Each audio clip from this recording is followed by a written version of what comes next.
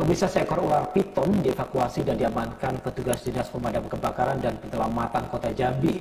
Ular sepanjang hampir 2 meter tersebut diamankan dari dalam sumur milik warga. Petugas Dinas Pemadam Kebakaran dan Penyelamatan Kota Jambi langsung bergerak setelah mendapatkan laporan dari Endang, warga RT 20 Kelurahan Kenali Asam, Kecamatan Kota Baru.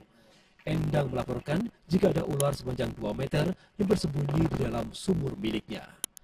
Tim damkar yang tiba di lokasi langsung melakukan evakuasi dengan menggunakan bambu dan stik penjepit. Petugas sempat kesulitan karena ular sempat menyelam ke dasar sumur. Tidak butuh waktu yang lama, akhirnya ular dengan nama latin Pitonidae dengan panjang hampir 2 meter tersebut berhasil diangkat dan diamankan petugas untuk selanjutnya untuk dilepas liarkan ke habitatnya. Petugas pun mengimbau kepada warga untuk dapat menghubungi Dinas Pemadam Kebakaran dan Penyelamatan jika adanya gangguan hewan liar seperti ular, lebah, dan sebagainya. Agustri, Jambi TV.